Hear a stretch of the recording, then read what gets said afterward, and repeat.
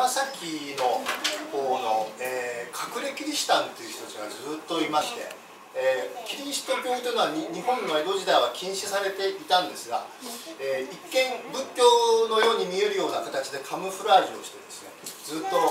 保たれていて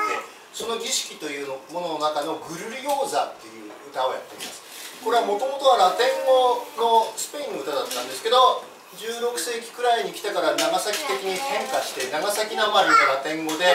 やる感じの曲なんですけどそれをちょっとやってみたいと思います。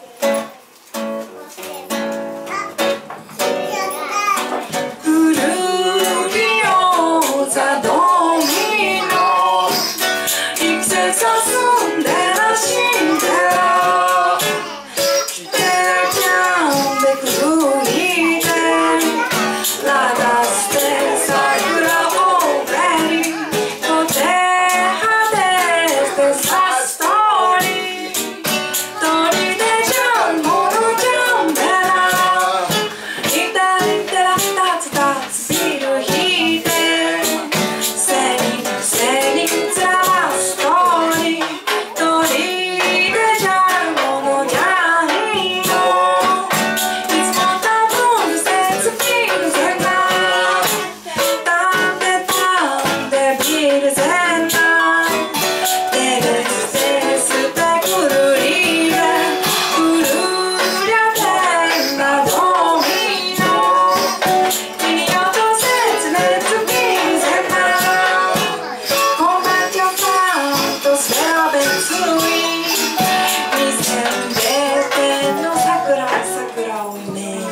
そう。